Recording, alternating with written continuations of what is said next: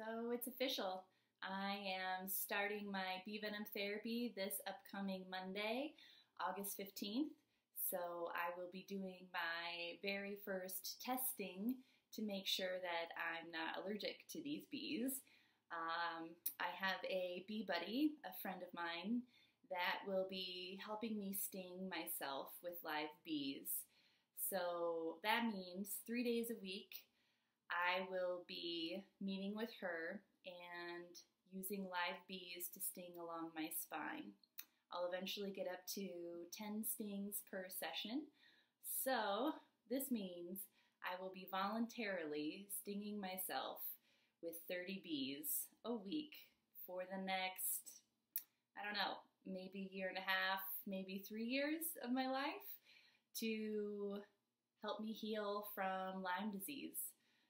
So I'm ready to get my life back more than I have it now.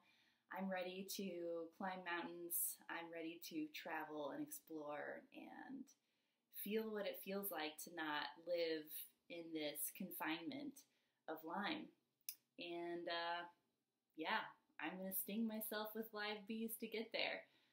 So, the last few weeks up until this point have been a little rocky emotionally, thinking about this course. But right now, I am so excited to start. And if you want to follow along, I'll be blogging about this, both writing and making videos of the ups, the downs, me actually getting stung. So watch out, Netflix. uh, is on the rise.